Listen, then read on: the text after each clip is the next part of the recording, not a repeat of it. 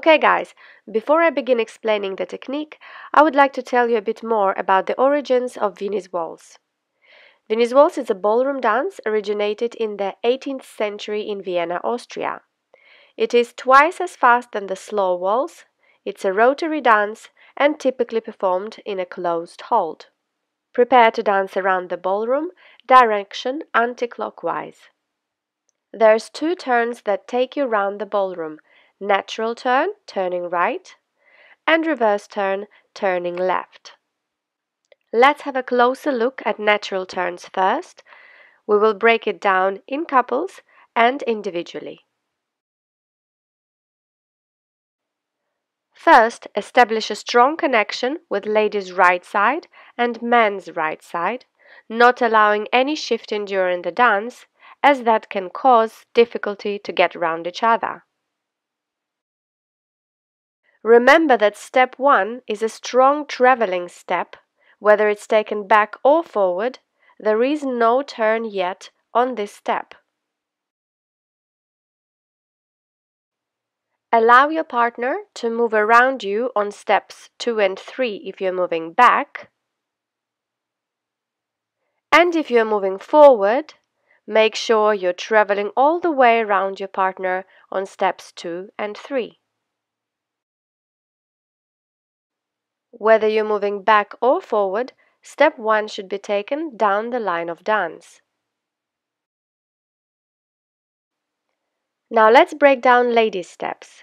Ladies, extend back and away from your partner, keeping your right hip always forward and towards your partner while you dance. On step 1, release left leg quickly at the end of previous step to get out of man's way to create space for him to move into. On step 2, allow your partner to pass by taking a small step to the side and staying left. On step 3, close your feet together by drawing your left foot in, stay grounded, and allow your body to complete the turn. Step 4 is a big step, driving along the line of dance. Stay left and away from man's space and prepare to take a bigger step around him next. Step 5 Swing left leg forward and swivel the foot at the end of the step. On step 6, close your feet together, releasing the left foot quickly for the beginning of next turn. And now practice this over and over again, paying attention to the direction of line of dance for your step 1. Also, be aware of the center of the room so that you can take a side step diagonally to center. To change from natural turn to reverse turn, use a step side close change. And now let's break down the man steps or the leader steps for natural turn. Here also you need to be aware of your right side that is connected to your partner at all times.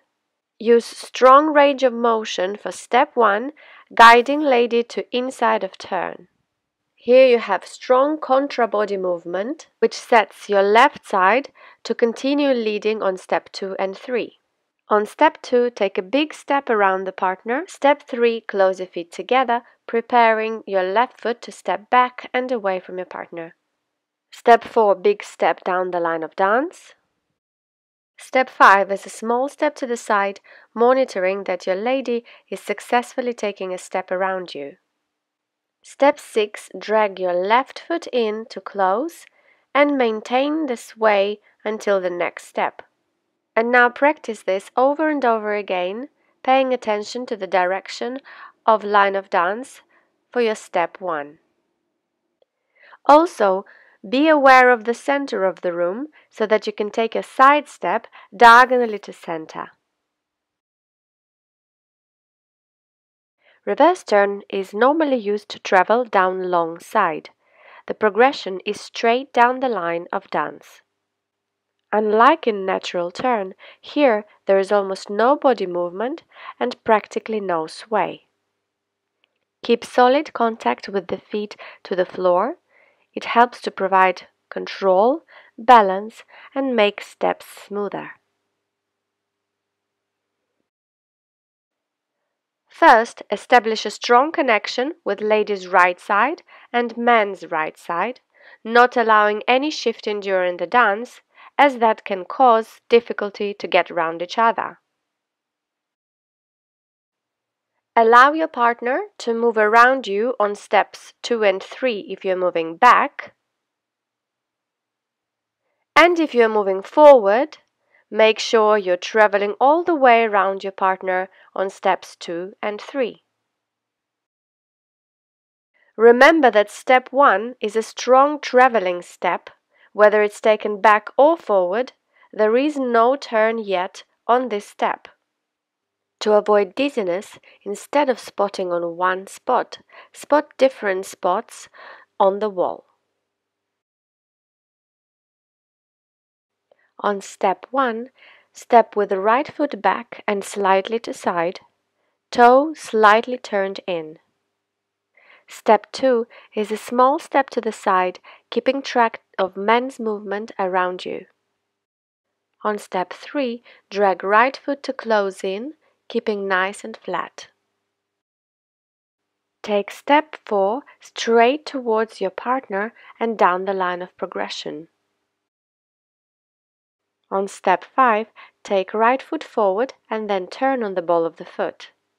On step 6, continue turning on right foot, then left foot crosses in front. And now practice this over and over again, keeping the movement as flat as you can and ladies, keep your right arm slightly in front of you, pressing it towards your partner. This will help you maintain a very good line throughout this movement.